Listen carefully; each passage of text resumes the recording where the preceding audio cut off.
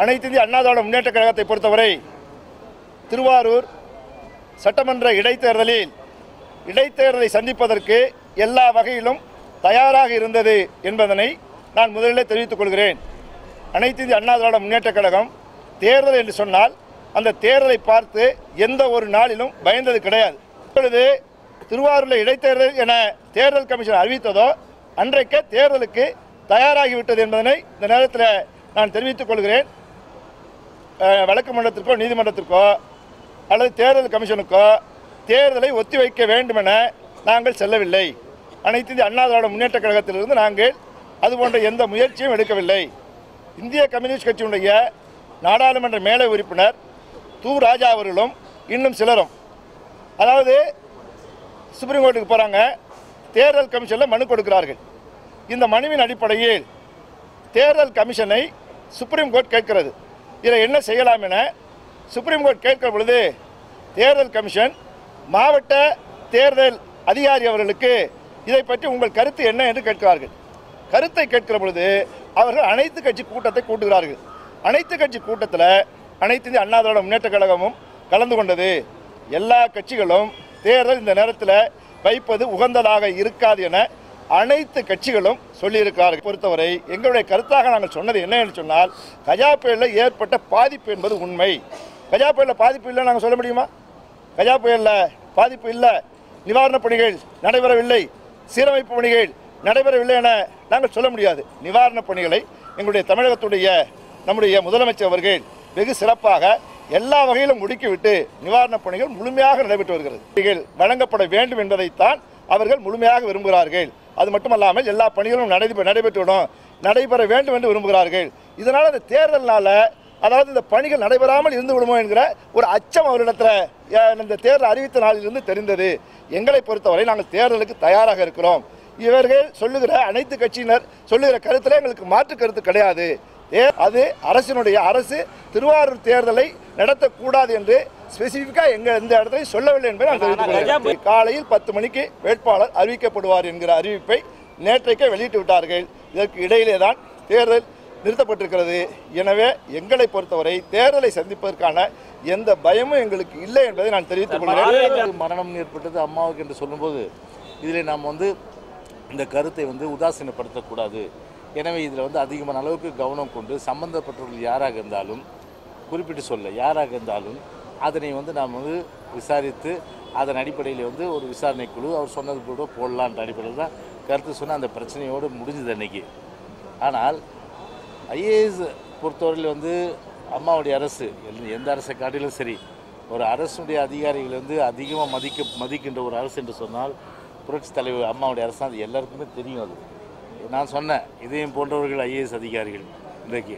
ஒரு அரசு வந்து ஒரு ஆட்சி இன்றைக்கு வந்து முதலமைச்சர் அமைச்சர்கள் அதே போன்று அதை செயல்படுத்துகின்ற அந்த நிலையில் இருப்பவர்கள் ஐஏஎஸ் அதிகாரிகள் கீழ் மட்டத்தில் அவர்கள் கீழ் இருப்பவர்கள். எனவே எல்லோரும் ஒருங்கிணைந்து அரசு என்ற அந்த இயந்திரத்தை நாம் வந்து நகர்த்தி சொல்லுகின்றோம்.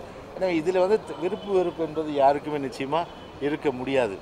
எனவே அந்த அடிப்படையில் வந்து நான் இன்றைக்கி அதை வந்து ஃபுல் ஸ்டாப் வச்சுட்டாது அதோட அந்த அசோசியேஷனும் நானும் பேசினேன். சரி அவங்களும் வந்து ரொம்ப சந்தோஷம் வந்தாங்க ஆனால் அதில் என்ன கருத்து என்று சொன்னால் அந்த ஐஏஎஸ் அதிகாரிகளுடைய அந்த சங்கம் சங்கம் ஒரு மனு வந்து முதலமைச்சருக்கு கொடுக்கும்போது இது தங்களுடைய கவனத்துக்கு கொண்டு வருகிறோம் என்று சொன்னால் பரவாயில்லை.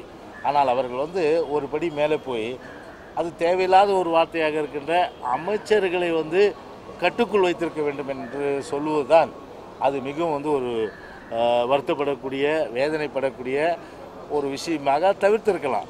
அதுதான் வந்து இன்றைக்கு வந்து சட்ட அமைச்சர் வந்து சொல்லியிருக்கிறாரு. ஏன்னா அது அவர் சொன்ன கருத்துக்கு பதில் சொல்ல வேண்டியது அந்த ஐஏஎஸ் அவசர அதிமுக கடந்த ரெண்டாயிரத்தி பதினாறாம் ஆண்டு நடந்த சட்டமன்ற தேர்தலின் பொழுது மாண்புமிகு புரட்சித் தலைவி அம்மா அவர்கள் கள்ளக்குறிச்சி தேர்தல் வாக்குறுதியாக கள்ளக்குறிச்சி தனி மாவட்டமாக பிரித்து அறிவிப்பதாக வாக்குறுதி கொடுத்திருந்தார்.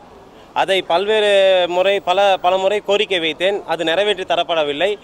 மா கடந்த ரெண்டாயிரத்தி பதினேழாம் ஆண்டு மார்ச் மாதம் நடந்த கூட்டத்தொடரின் பொழுது கேள்வி நேரத்திலே சுமார் கேள்வி நேரத்தில் பொழுது நமது அ, உதயகுமார் அண்ணன் அவர்களின் இடத்திலே இந்த கேள்வியை கே- கேட்ட பொழுது அனைத்து சாத்தியக்கூறுகளும் உள்ளது. எனவே கொள்கை முடிவுக்கு விடப்பட்டிருக்கிறது என்று மாண்புமிகு வருவாய்த்துறை அமைச்சர் அவர்கள் பதில் கூறியிருந்தார்.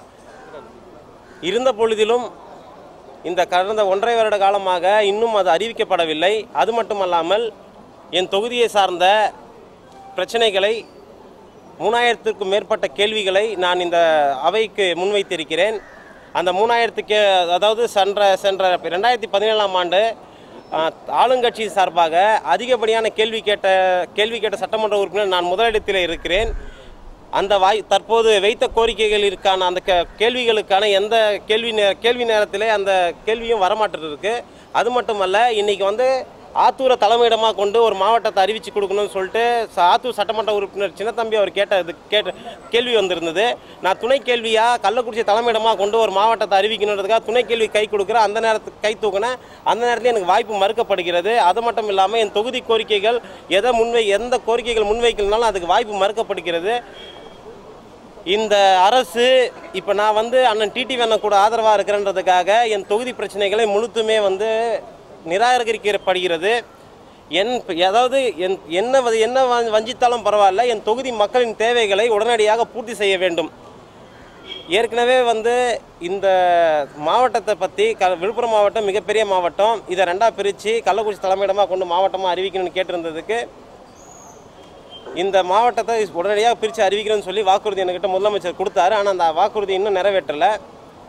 இப்போ நான் அண்ணன் கூட டிடி அண்ணன் கூட இருக்கிறதால அது எனக்காக செய்யலனாலும் பரவாயில்ல. அங்கே நிறைய சட்டமன்ற உறுப்பினர் அதாவது முதலமைச்சருக்கே வேண்டியப்பட்ட சட்டமன்ற உறுப்பினர் குமரகுரு இருக்கார். அவர் பேரையாவது சொல்லி அறிவிக்கலாம். அதையும் செய்ய மாட்டேங்கிறாங்க எப்படி புரட்சி தலைவி அம்மா அவர்கள் அரசு அம்மா அவர்கள் அரசுன்னு சொல்லிட்டு இருக்காங்கன்னு தவிர எந்த கோரிக்கைகளும் நிறைவேற்றாததால் இந்த இந்த அந்த கோரிக்கைகளை வந்து சட்டமன்றத்தை வலியுறுத்தலான்னு பார்த்தேன்.